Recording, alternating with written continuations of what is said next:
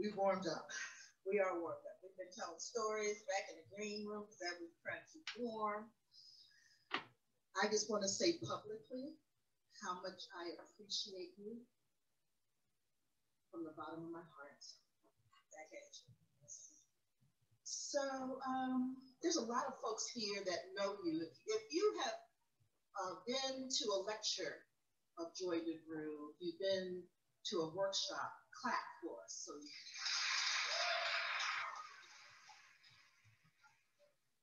if this is the first time that you've had the pleasure of sitting in her presence, could you clap for us, please?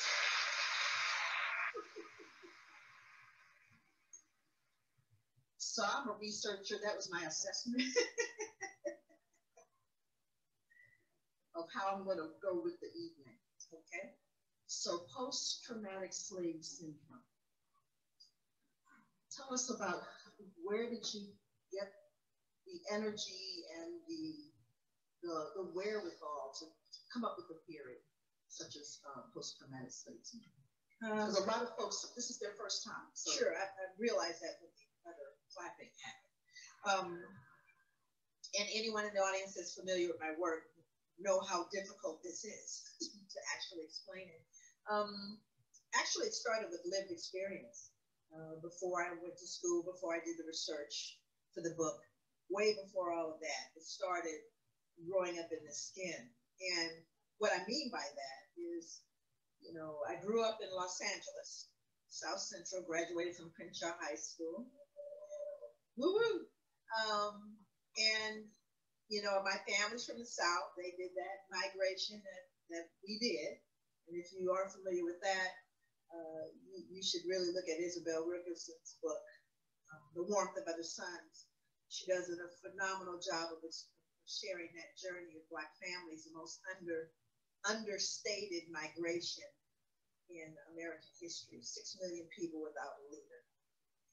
Anyway, my parents migrated from Louisiana. My father, uh, who went to the sixth grade, my mother uh, had a, actually had a, a, chance to go to college. She had scholarship, but she didn't go. She raised a family. And my father called himself an Asiatic black man as long as I can remember, before black was beautiful and we was colored folks. My father said we were black and he was real clear about that. He also knew that he didn't want to raise us in the South because he wasn't going to raise us to bow down. So one of the things I started to notice as a young child, I was always the kid, and and I've always been the person that you know when there was a little little kid in my in my classroom that didn't have lunch, I was the one who shared my lunch. Oh, I don't I don't want my I don't need this sandwich. I'm not even hungry that's who I was. I was the one who stood up for the kid that was uh, picked on or the kid that didn't have a friend. That's who I've always been from kindergarten. I've always been that person, but there was something I started to notice about my people. And, and be clear, I love my people. I love my people. And I started to see something happening with us that even as a child didn't make sense to me. I couldn't reconcile it. And the, and the thing that I saw was this kind of antagonism that was happening between us, where if someone black was mad at someone else that was black, they would insult them. And when they insulted them, they would call them black first. You black, fill in the blank, you black. And, and as a child, I, I was, I struggled with that. I didn't understand. I said, you are black. But you see, tacitly what we've agreed to is that if I call you black, that should injure you even more. It's to add emphasis to the insult. So when I call you black, I'm expecting that to hurt you. And that never made sense to me. You don't hear white people go, you white. you know, that's that's that's not what happens.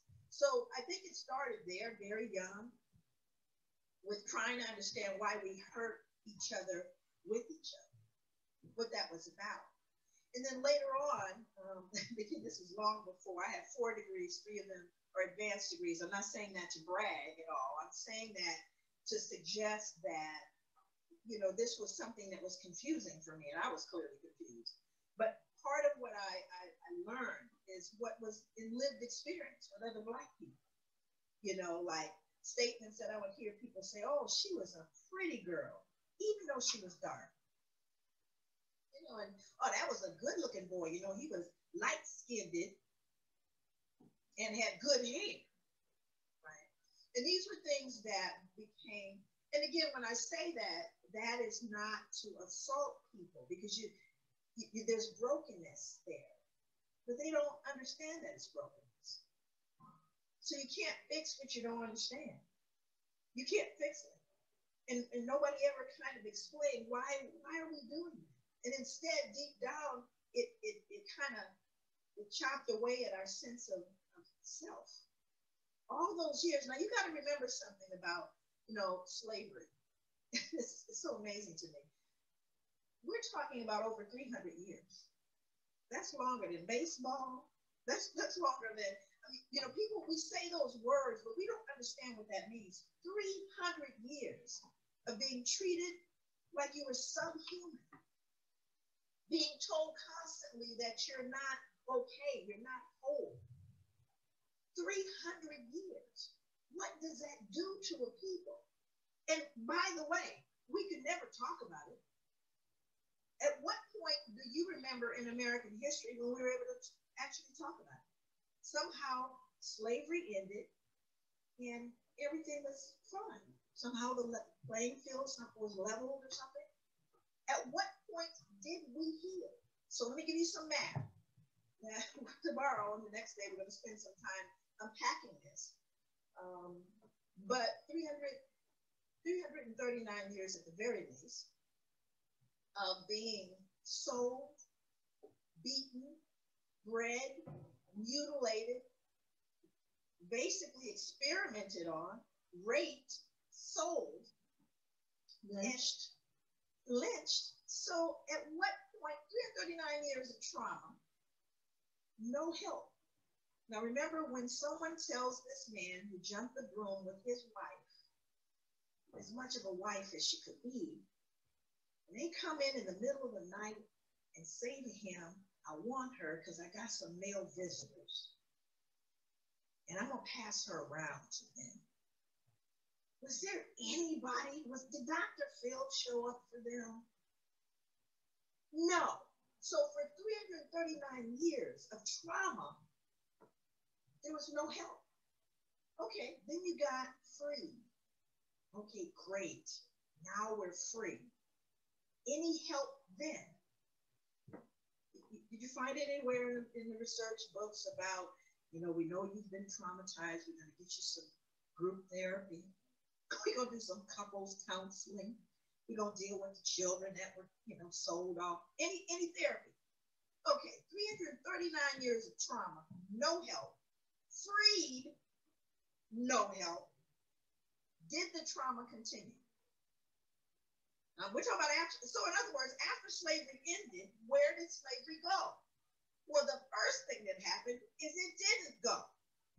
It's called peonage, the unlawful selling of people back into slavery, hence 12 years a slave. He wasn't the only one. So now you're, you're sold back into slavery, and they figure out we can't do that. Then they had something called black codes, which means that you might be free, but you better not come to the Bay Area better not go to Oregon. Well, can't you go north? Well, no, we created exclusionary laws to make sure you couldn't go. But aren't you free now? Okay, so 339 years of trauma, no help, free, more trauma. Because you got to remember all the lynchings occurred after slavery, not during. And by the way, they still occur. But here's what happens is we buy into a myth that somehow the playing field got level. And when did ever we have a chance as Black people to have this conversation? To talk about why you might be broken and what that might look like. But instead, you break our legs and then complain that we live. And when I say you, I'm talking about America. And I'm talking about those who suffered in the, in the Caribbean and I'm talking about all of those who suffer the vestiges of such a horrific institution as chattel slavery. I emphasize chattel because what happens to people around this, I know I'm answering this this, this is what it takes. This is what it takes. You know, when people hear slavery, they go, you know, and some people are in here thinking, gosh, someone distract her so I can run. Um, you know, they're thinking slavery? Really? Are you? Come on. Slavery? What, what are you people, what excuses are you trying to find? You know, who are you trying to blame now? See, these are all, I, am dealing with that because I know what's going on in the psyche, that people start kind of feeling that.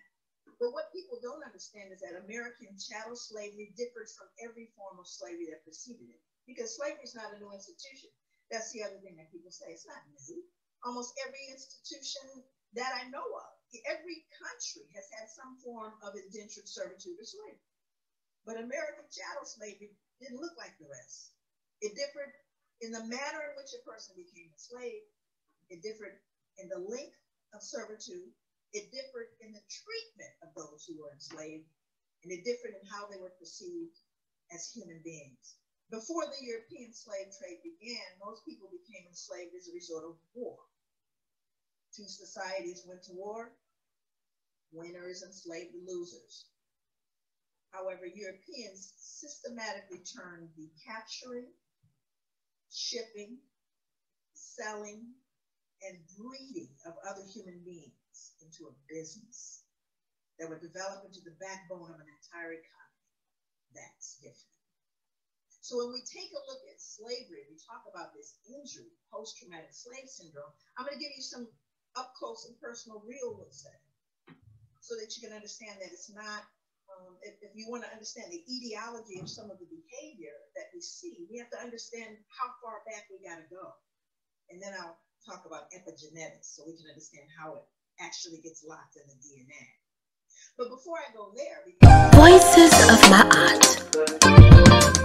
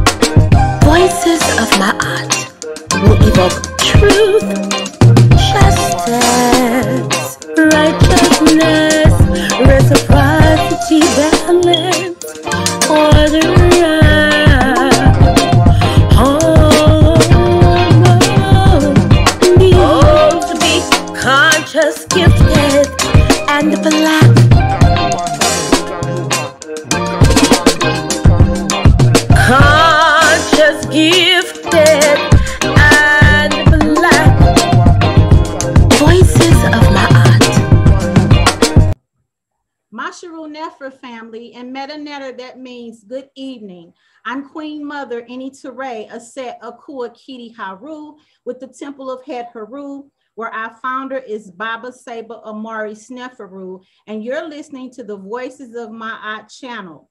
Please subscribe to the channel and like. Also to our other channels, Mock Haru TV 314, as well as Paradigm Shift TV 314. Also, we have an excellent show on Paradigm Shift TV 314 that aired uh, last week about abortion. And it's historical because it's our first Queen's debate on that station. And it features our very own Queen Hakika versus Queen Monique. So please, family, take the time out and watch that debate. It was excellent. Ashe? Ashe. And when I say Ashe, it simply means that we agree and we're on the same accord. Ashe. Um, today's uh, show, we're going to talk about genocide, the demise of the Black race. And as I told you last week, this is part three. We have a Queen's perspective. But before I get started, I'm going to go ahead and do my normal Hesi, the chant. Pa netter ampu pa ma'at, ank wise de jeb, ank unja seneb, uben nefer akar pa in bu haru ma'at, in English that translates to How Sweet is the Truth, Life, Power, Stability, Life, Prosperity, and Health, rising always in divine excellence with my aunt every day, all day. Ashe. Ashe. I also have a few announcements to make. On uh, Saturday, December the 19th at the Cardinals Care Park in St. Louis from 12 p.m. to 3 p.m., our sister Shaka, uh, Queen Shaka from the Black Panthers, she is giving the ladies who we helped uh, on November 21st, she's giving the ladies a holiday celebration. So please come out and support her, support the ladies, show them some love. Uh, our sister circle is going to donate them socks, gloves, hats, and winter blankets. And so we're gathering that up today. Um, and also from today all the way up until Saturday, uh, December 12th, we're going to get those things together. And with the sister circle, we're going to donate those things so that we can help the ladies. Ashe? Ashe. And if you want to contact Queen Shaka for donations, just reach out to her on Facebook. Uh, her Facebook is Queen Shaka. You can get in contact with her, but please try to get those items to her so she can do inventory. And so by December the 12th on Saturday, she can let you know what's needed. Ashe? Ashe. And the second announcement I have is that we are also on the YouTube channel called uh, Street Talk STL, where it features our project that we did with the ladies for the uh, Temple of Het Heru Queen Sister Circle Auxiliary. And so if you just go to YouTube and put in Street Talk STL, you can see our video. And I just want to say dua to our King Brother Usa, who is a member of the Temple of Het Heru, and he took care of security for us that day, along with the Black Panthers, Queen Shaka, and our brother uh, King Street Talk of STL. Ashe. Ashe. Now, without further ado, I have a very special guest, and I'm so honored that she could come on the platform. So at this time, I'm going to let you introduce yourself. Ashe, Ashe, Ashe. Hello, everyone. I am Nala. I um, I'm Nala, and I'm on the journey of. I've been on the journey of spirituality and understanding for quite some time. I have studied many different ways of living in terms of being spiritual and in terms of being African American and Black. And I'm in a place at this very beautiful age of almost 60 and just resting right now in understanding and understanding, overstanding rather, that I am ultimately divine. I'm a master life coach. I'm a Reiki master. I'm a Karuni make Reiki master. I'm a. I'm a kinesiologist, I'm a reflexologist, anything relating to healing the prana, healing the energy, healing thought therapeutics. I I've done a lot of healing work from within. So I come to you very gracefully with humility um, to be on this platform. I'm I'm I'm humbled and I'm I'm so thankful. I'm I'm, I'm almost my gratitude is overwhelming and I appreciate you. Queen. Thank you. Ashe. Queen, you look beautiful. You, Thank you are just, um, when I talked to you on the phone, I felt your positive Thank energy. I mean, you, I mean, when I talked to you on the phone, it was as if we known each other for like 10 or 15 years, right? Mhm. So that that's divinity, that's divine intervention. Ashe. Ashe, Ashe, Ashe. So I'm gonna go ahead and get started, Queen, with the questions. Are you ready? I am ready. Okay.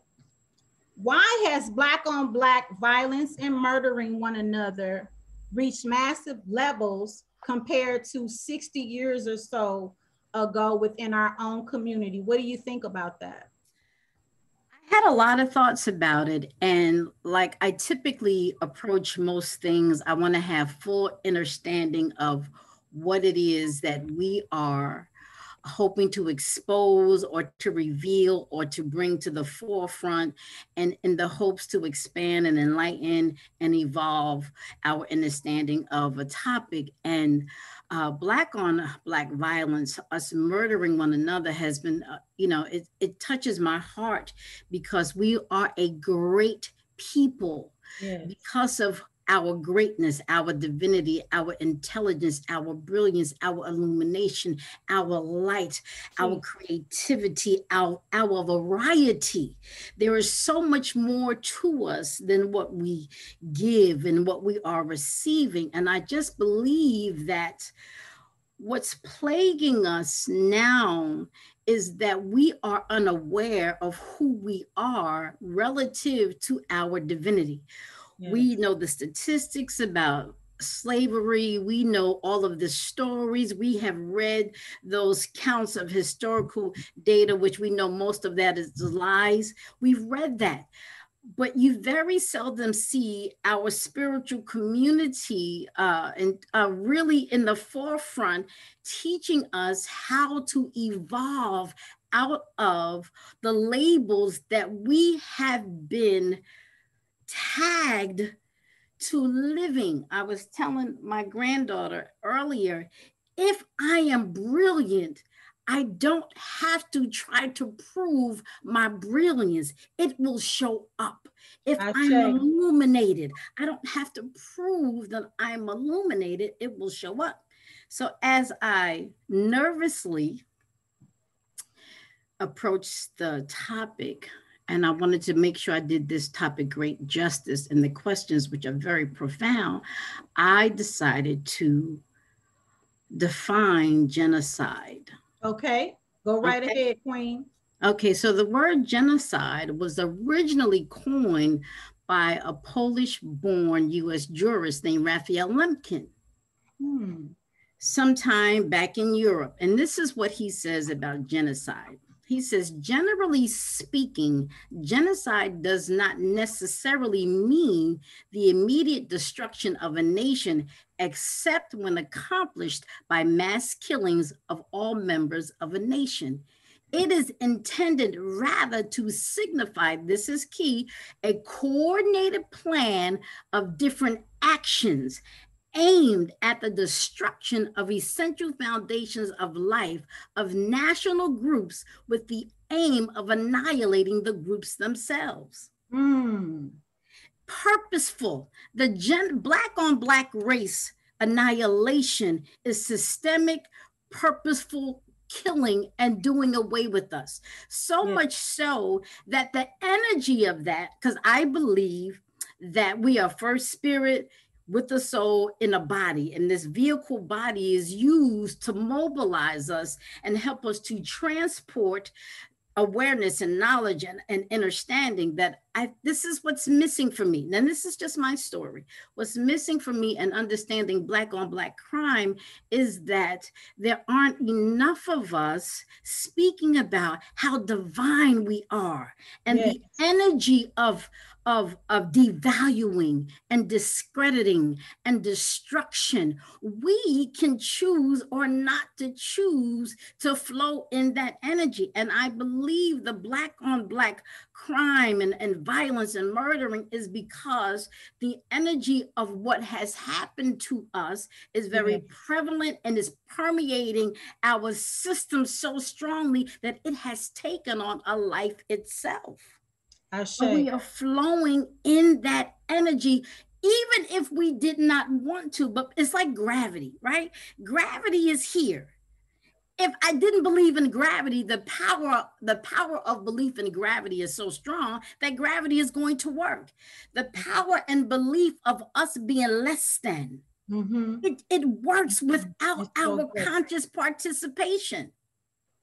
And unless we understand that I can change my reality, I'm going to consider, I'm going to continue to see my sister who's beautiful and comes in a plethora of shades. I'm going yes. to see my brother who comes in many sizes and shapes and various skills and abilities. I'm going to see them as a threat to my own self when they are just mirrors of me.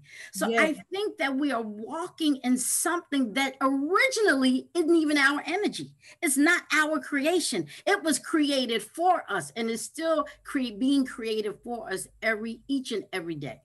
Yes, yes, that's powerful, Queen. Powerful. Okay, let's move on to question um two. Well, before we do that, I'm going to just share some other things with you. I was reading. Okay. I was reading. Um, have you had heard of um, what's the attorney? His name is. Oh my what Lord. case was it? No, Ben Crump. Ben Crump, the civil yes. rights attorney. Ben, yes. ben Crump. You know, he he has a book, right? Open Season: The Legalized Genocide of Colored People. Mm, okay.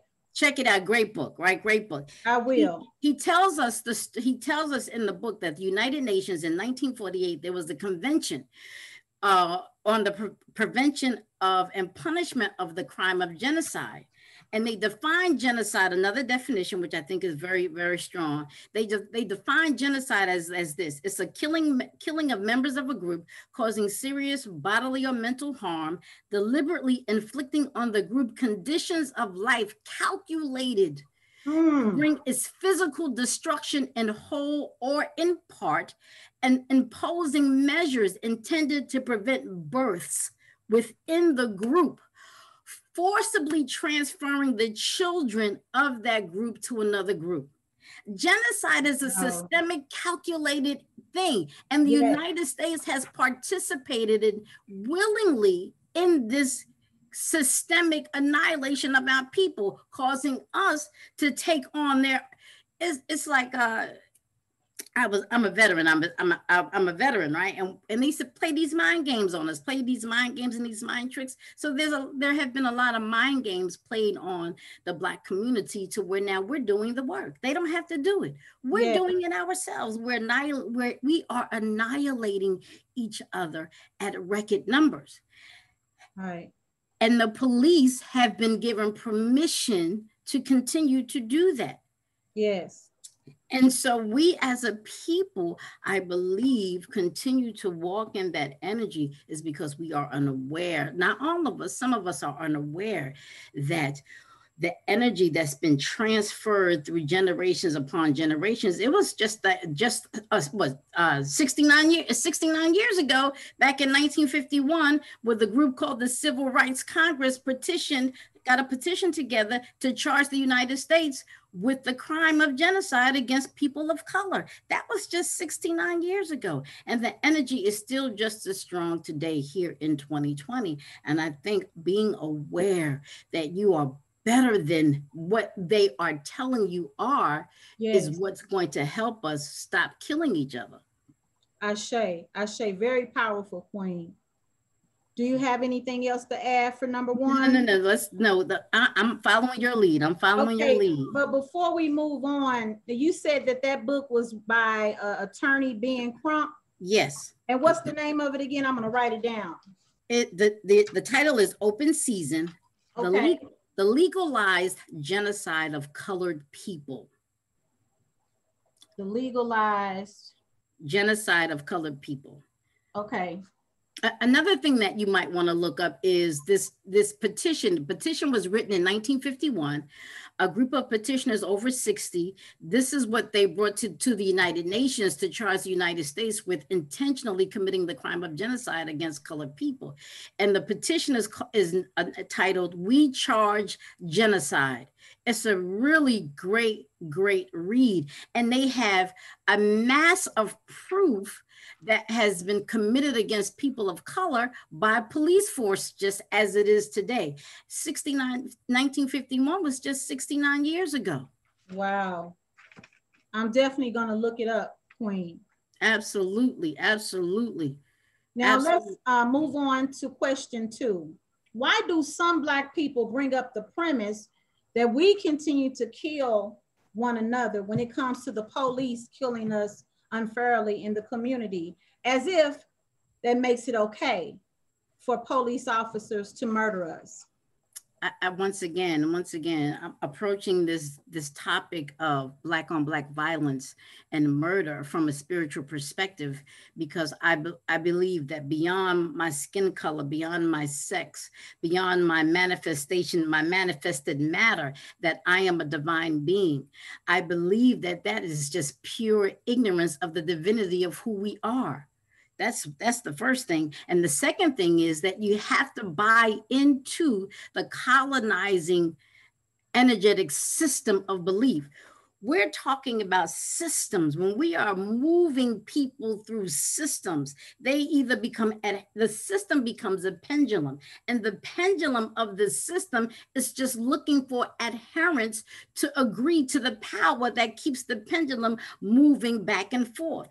And the energy and the energy of belief is what keeps a pendulum to be able to have its effect, whether it's good or bad or positive or negative on a group of people. When the energy and the spirit of hatred and devaluation has been pumped at you for 60, 70, 100, 200, 300, 400 years, even if you consciously believe that it's not in you, it is in you by transference of just the root energy of existence. It is in you and you have to be willingly to eradicate that by loving so i think black people you know white you're lighter than me you're darker than me your hair is nappy your hair is straight that's been going on since my mother's my mother's mother's mother's mother, right? Yeah. There was a preference. They chose the lighter skinned house slaves. They put them right, in. Right, they right. they made the babies, right? The darker you are, the worse you got treated.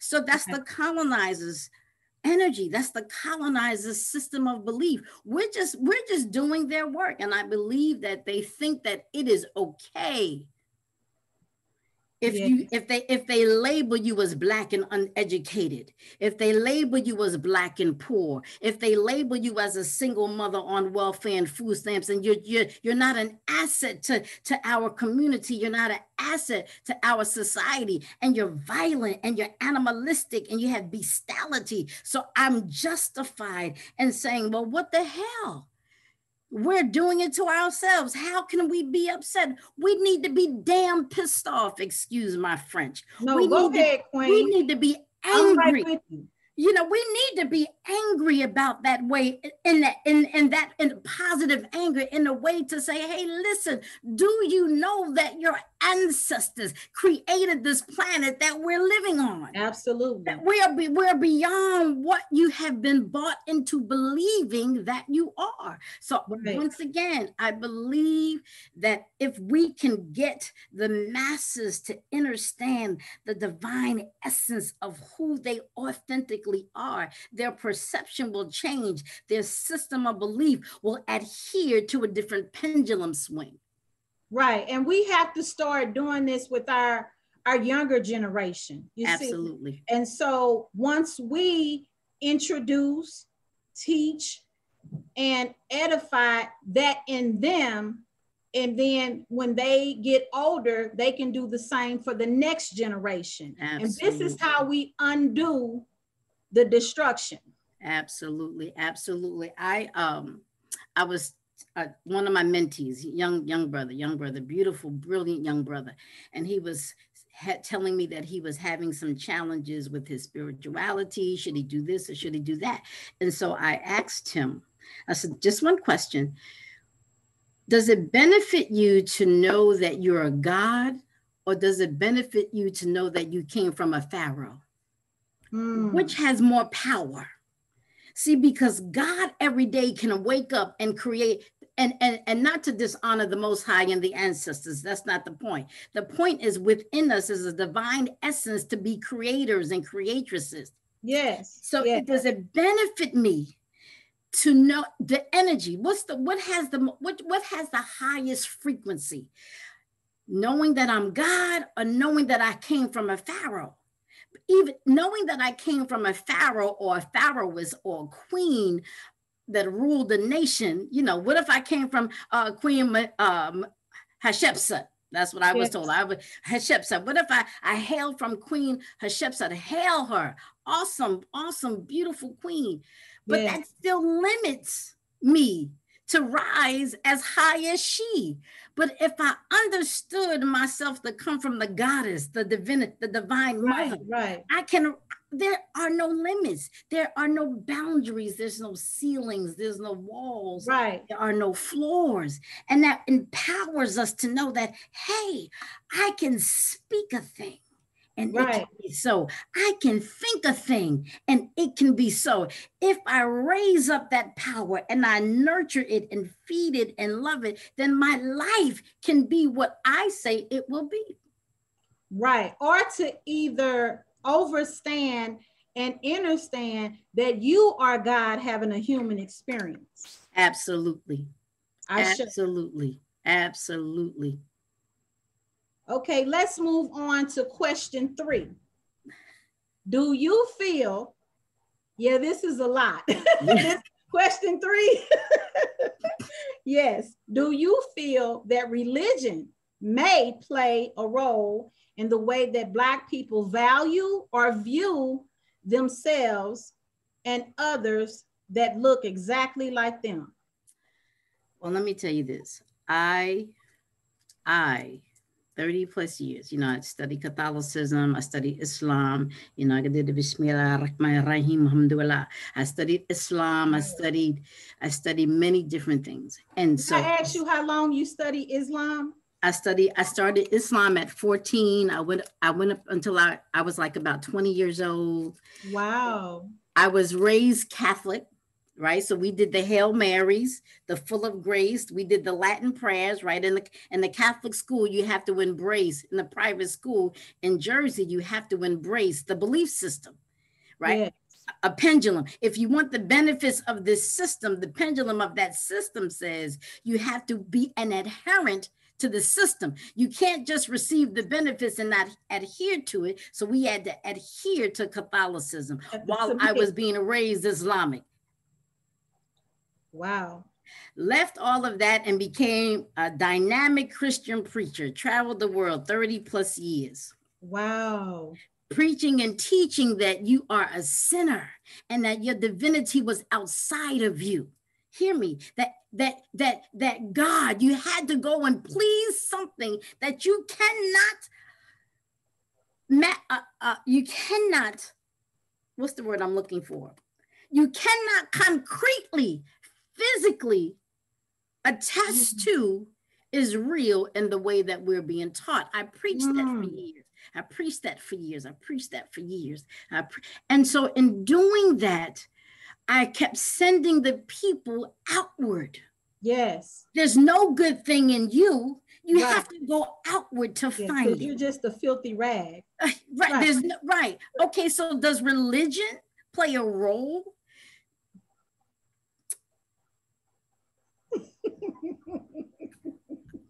yes, religion does play. Okay, let's talk about genocide.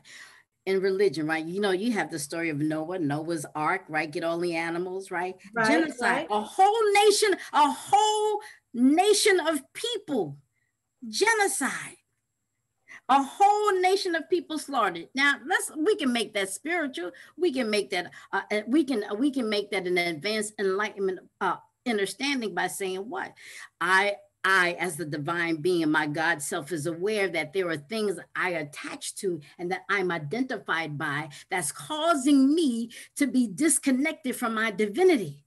So, my divinity, when I have given permission for my divinity to lead my life, it has to decide for me that is it better for me to stay in this manifested state of being disconnected from my divinity and losing all connection of who I am as a divine spirit and being as a divine goddess? or do I, or, or, or, or, do, or what's the best thing for me? So it brings total destruction. Yes. It brings total destruction. It's like the person being identified with the with the house. This is my house. The house is the identity. The car is the identity. The, the job title is the identity. The workflow is the identity. And through those identities, they're disconnected from the divinity. And so genocide happens within of those identities so the divinity can break forth like the beautiful seed that it is and blossom and become the beautiful planet, the sun, the moon, the stars, the universe, all of those good things. However, religion teaches us that no, that's not going to happen. And then you have to worship in a way so that maybe this God who's outside of you will be pleased with your offerings, will be mm-hmm. pleased with your supplications. And you have to order your life in a way way that's so uh, pleasing to him that maybe I'll help you pay your rent, that maybe I'll give you a husband or a spouse, that maybe I'll bless your family. That's straight shenanigans. Yes, yes, yes. And and and I know this is not on here, but um just because um it was mentioned uh, Queen Nala, how did you pull yourself out of that mental health tragedy? Well, let me tell you, I was saying that I've always said I wanted to be the best version of myself that I could be. I've always said that. I used to tell my mother different things like, you know, I'm going to be the first Black president, female Black president, and I'm going to get an island and move all of all of our Black people off off uh, uh, out of America and put them all on this island. And I used to have these grand, great stories. And this is five when you were a child. When I was a child. Now, okay looking back on that now, you know, that, had to be divine. It, it, wasn't me. So I like to think that I didn't necessarily pull myself. Myself, I believe that the Most High, because mm-hmm. there was that connection, and I fed it. The Most High said to me one day in that in that in the Bible that you read, every place you see the word God, put your name. Hmm. And and being a religious person, being a religious person, that was a challenge. So yes. as I began to study and and and dissect different words like the word Lord, the word Lord means self-existent one. It's so beautiful. I began to see, wow, I am really God in body form and and and I don't I don't want to say the totality of the most high because I want to make it clear that I'm in honor and respect of the most high and the ancestors and the sentient beings that help us stay together and keep us keep us sane on this planet but That's that good. it was a journey you know it was a journey it was a journey coming out of that and realizing that this divinity that I was looking for I already housed within Right. And it's and it says it in the text, right? The kingdom of God is within you. It says, Greater is he that is in you than he that is in the world. It says, Christ in you, which is a consciousness, right? An elevated consciousness, Christ in you, the hope of glory, right? And then, you know, you have the word Ka and Ra and Prana and Chi and Ki, and all of those mean energy and spirit. You have the word Ruach, which means breath. You have Pneuma, which means breath. All of those things are just different names and labels for the name for the divine. Mm-hmm. And so through that, through that, uh, through study, through supplication, just the desire to be better. I, you know, I don't want to make it sound like, you know, I just the desire to be a better person, to contribute, yes. to contribute and to empower people versus sending them on a journey of being disempowered and always searching without when what they're looking for is within. So I hear you, Queen. Am I correct in hearing that it was already in you? Oh. You just needed to to have experiences and development and growth to um, activate. A defibrillator. I needed something to, to come and defibrillate. Yes. You know, to jumpstart that that connection, right? Absolutely. you know, scientifically, I was studying just, you know, about the cells. The cells have been created, the human cells have been created to be, uh, to have, live eternally. They have not been created to die. Yes. That's an essence of the divine.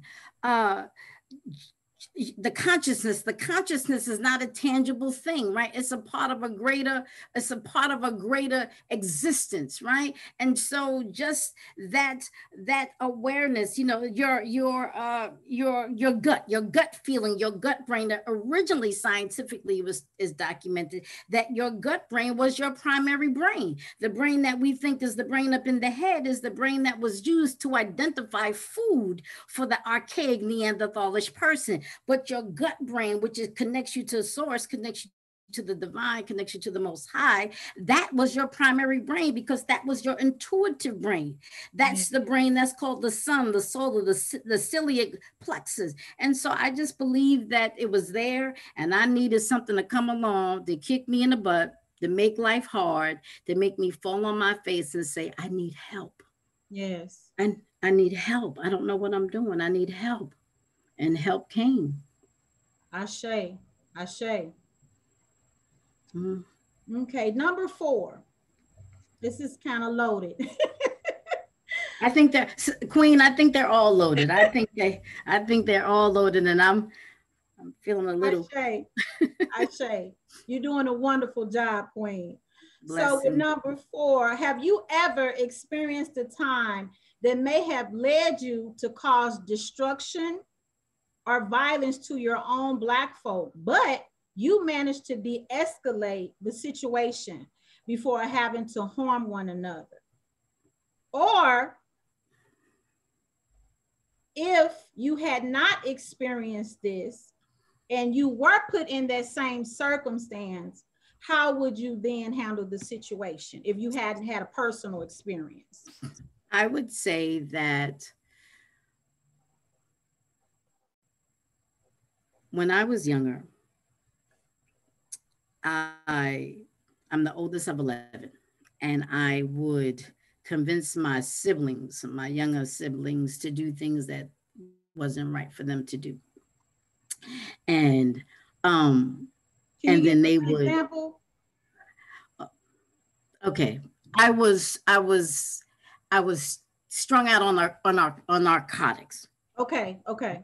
Right, strung out on the you know narcotics is a, you know I was right. in New Jersey strung out doing my little thing and I would convince my younger brother to always come on go with me come on go with me come on go with me and then when he when he became addicted and I became saved and clean and whole and healed I had to go and get him and care for him and rescue him. So how how would I how would you consider that de-escalate? I had to de- help his mind to de-escalate from that place of inner destruction on the path that he was on. He was on a path of destruction. He was he was on a path of of killing himself from within. And so I had to help him to no longer do that by educating him. First i had to first apologize to him yes. when i found myself right? I had to go back and be accountable. you introduced it to him.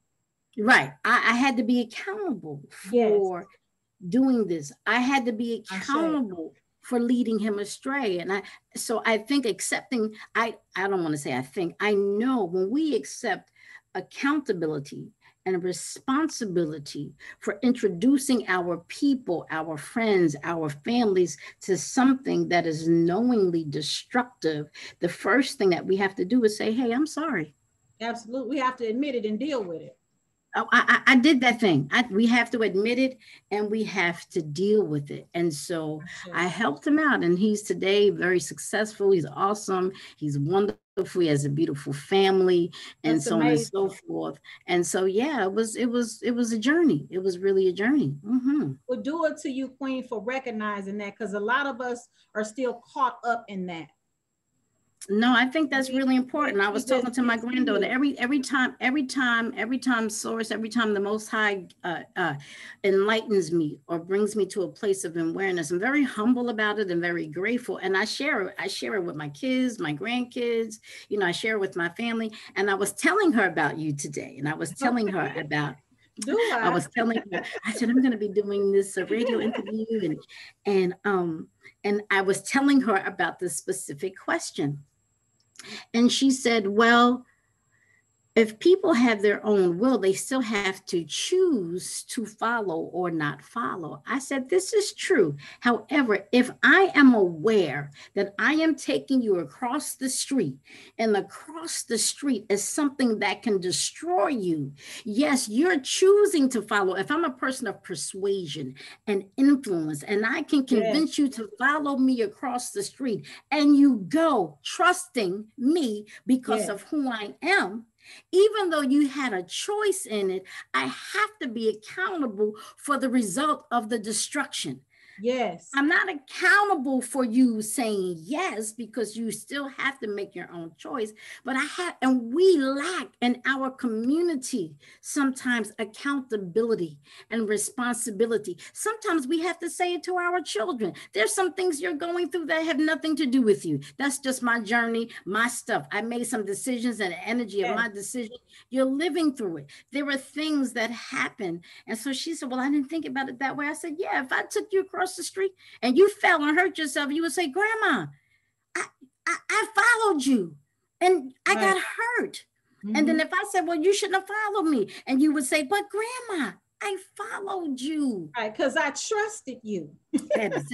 exactly. And so when people right. trust us with their life, with their soul, with their resources and their assets, and we stop being accountable and responsible for the end for the result of the following then we're no different than the colonizers we're Absolutely. no different we're no different than the people that's destroying us we're no different yes mm.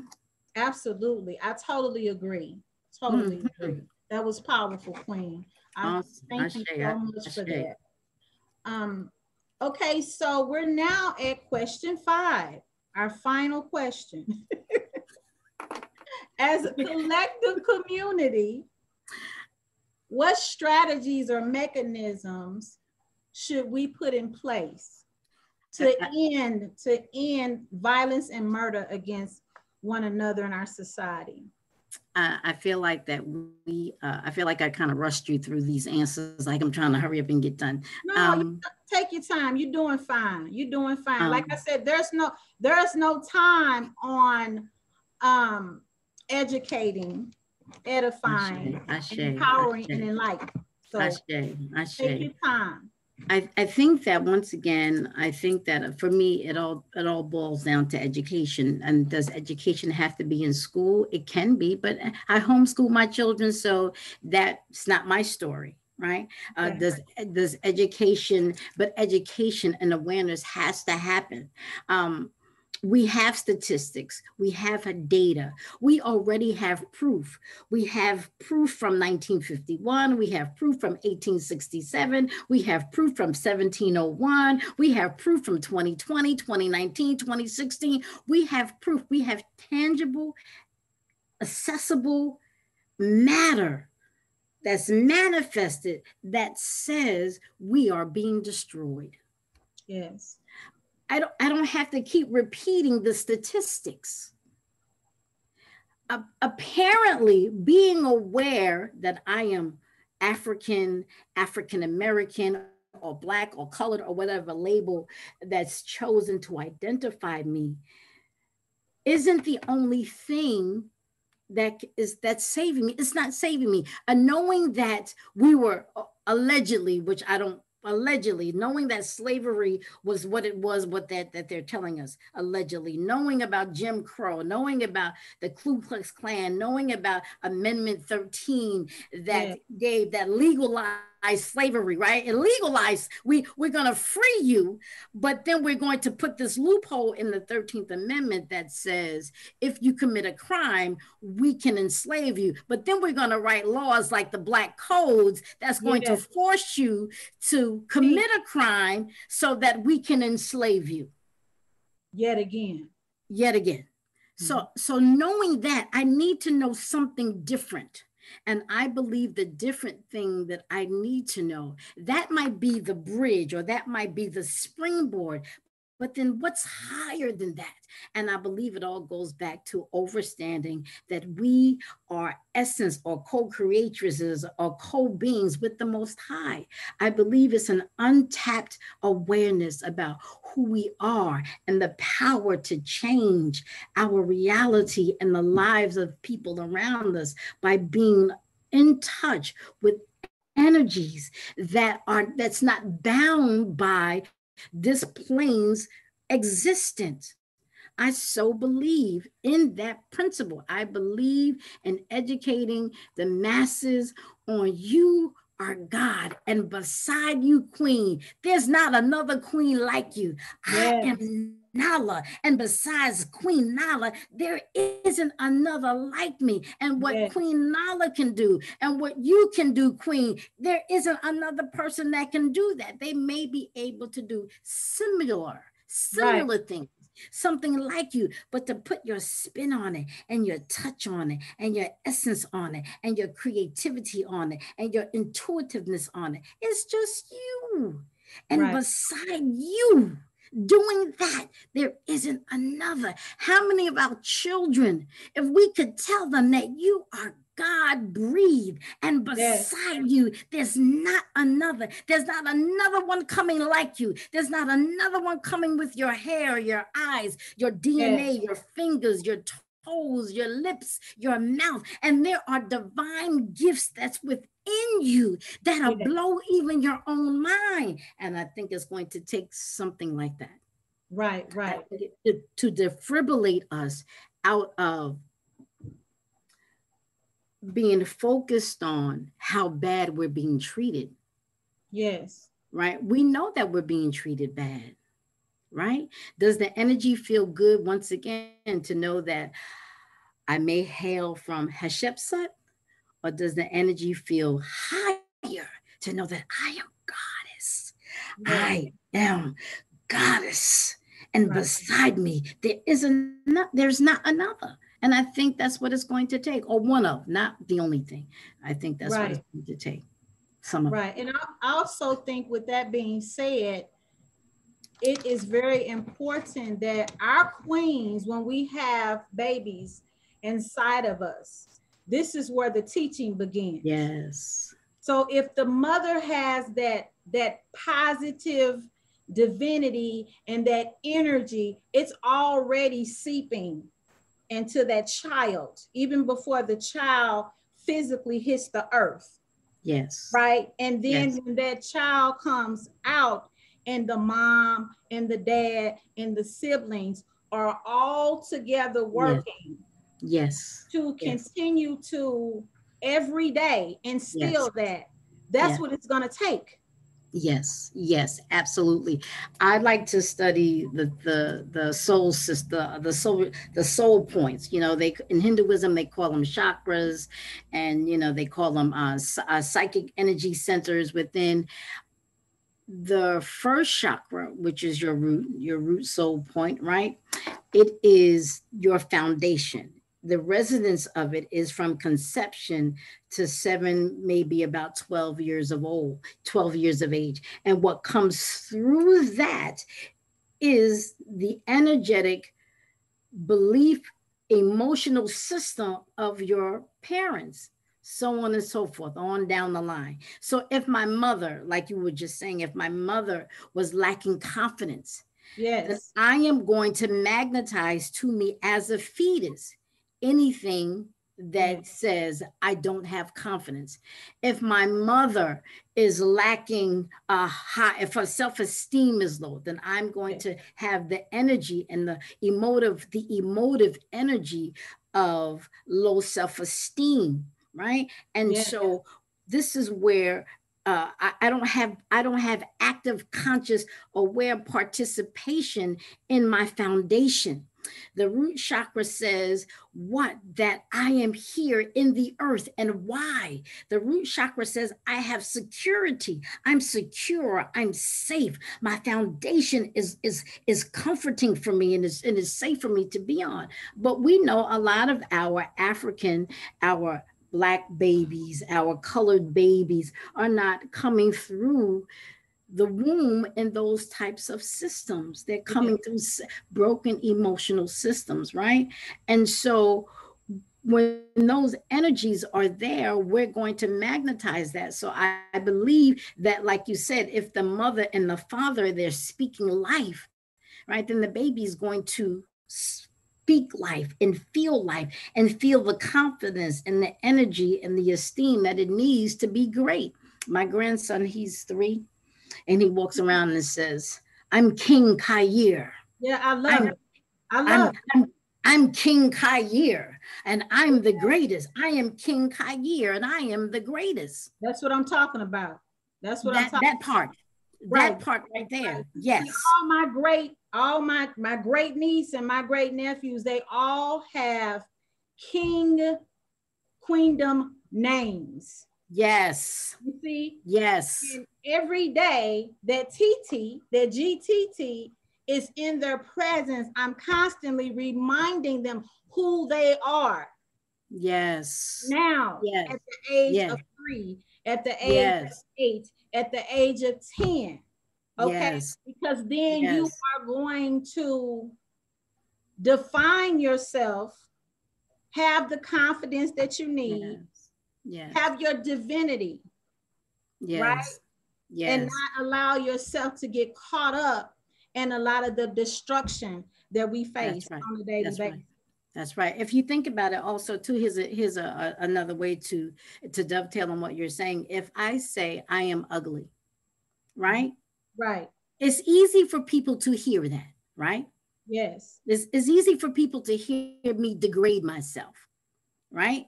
And if I do that, then I will invite degrading. I will invite whatever comments that will come from that. Whatever uh, behavior. Yes, right. I will. Right. If if I if I don't feel like I'm worth a good man, I'm going to what? I'm going to invite the man in my life that's not going to be well for me, right? Yeah. But Absolutely. if I say I am God, it's startling. Why is that so startling? Just like I can draw to me a, a, a, a people that, that aren't for my benefit, right? I'll magnetize those people to me. I can, I'll magnetize the essence of the Most High if I identify with that essence. Yeah. So so while I while I am queen and my my grandson is king and my daughter she's a queen and, and so on and so forth, I also like to instill in them that identify yourself as as the most high in body form not discounting your need and your your need to stay connected to the most high. You right. have to stay connected. I don't want to send that message. That's not the message that i'm sending but we're talking about pulling to us what is typically not expected. It's expected for me to go get a husband. Mm-hmm yeah go it's, it's expected it's expected certain things but but those languages the language the divine language the, the language of the of the of divinity is not a language that we are uh, not all of us that some of us are not accustomed to using on a daily basis because we have been programmed and conditioned to see and say and believe that that's outside of us.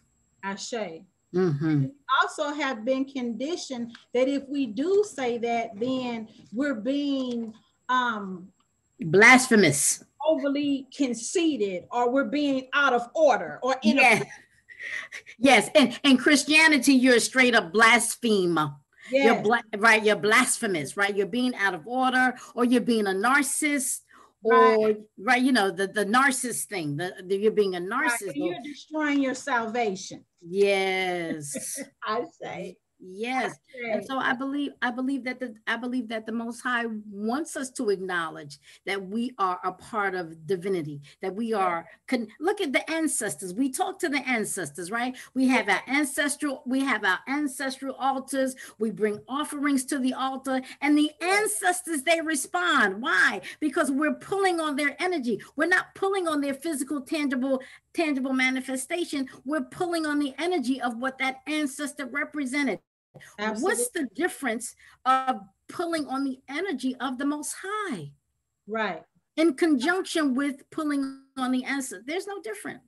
And right. so I think I think the language teaching, uh, knowing how to think like a, a, king, a queen that's flowing in the energy of, of the most high, that takes some training, that takes some doing, that takes some practicing, that takes some eradicating. You know, what part of the pendulum swing, you know, everything is a pendulum. Politics is a, is a pendulum. You know, systems of financial systems are pendulums. What what pendulum do you want to adhere to? I want to adhere to the pendulum that says, I am co creatress with the Most High. I am co goddess with the Most High. That's the pendulum swing that I want to adhere to. That's the power that I want flowing through me and in me and in my life yeah. in the lives of my family member. So collectively as a community, I think it's it takes some understanding and understanding that process of, of mental, spiritual, psychological change because energy is real. Energy, right. energy is real. Right. And I also think we can do a better job when um, our children don't have that in their home. Yes. And if you have it to share, you must be willing to open up your heart and share with others. We, we've yeah. lost that and we got to get it back. Absolutely, absolutely. You know, we uh when you look up the word segregation, right? That means purposely to separate for the purpose of dividing. Mm. I mean, you know, they didn't want us to have Black Wall Street. No. Right? They didn't want us to be educated, right? We're separate but equal. No, you the, the, the whole the and, and so and, and and and you can see what we're we're doing it to ourselves right. right. I have a house, you have a house, my sister has a house. Why can't we all be in one big giant house, 5,000 square feet? We collectively economically change the economics of our family. Yes, absolutely. Right. Right. If I'm growing, I'm evolving, I'm expanding, I'm changing, my inner awareness is growing out here, then I need to educate and share that with those who don't have access to that or who's locked into the system of belief that I'm nothing. Right, and that's an awesome uh, economic plan that we must adhere to. Yes, absolutely, absolutely, absolutely. So I believe in enlightenment. I believe in ascension. I believe in education. I believe in understanding and, and awareness. And uh, you know, I, I read a whole lot of stuff, as you can probably tell but it's nothing like knowing that I am a part of the Most High, that I am breathing in the essence of the Most High. Ashe, Queen. Ashe. Dua for your presence, for your Ashe. positive energy. Um, I am honored. I am honored that you were able to come on the Voices of My Eye and grace our audience Ashe. Ashe. with your wisdom, dua to you. Thank you mm. very much. But before before we leave, uh, Queen uh, Nala, is there anything else that you want to close out with for the audience? Anything at all? I would just say, if you you that are listening and you that are participating and on the journey of self evolution knowing who you are and where you come from, whether it's ancient Kemet, whether it's Asia, know that your origin it begins with the Most High. Find a way, find a teacher, find a coach, find someone that can help defibrillate that connection within yourself and within your being so that the pendulum swings of racism and destruction of our people, you don't have to you don't have to give up your power your life power your vitality to that because that's all it's looking for. What can i do to put in place this system so the system will run itself? And we have systems that's running themselves because we adhere to the power of that system by declaring that system to be true. What yes. is true is that you are a spirit with a soul in this vehicle called the body. Powerful, powerful queen, powerful. Ashe, Ashe. Ashe. So I'm going to um, just do a few um, shout outs I want to say dua to you, Queen, again for coming on. Uh, I hope you come and visit us more often. Because I do have a lot of topics uh, coming up that I think you will be awesome for. So just, just keep that in mind. hey, you, hey, listen, you must, you my sister. You know my number. Just you know, ring, ring. So I want to say dua uh, to our Baba Saber Amari Sneferu of the Temple of Het Heru. I want to say dua for him connecting us. Um, I was just so, like I said, when I first talked to you, um, I was enlightened just to hear you speak about positive energy. Mm.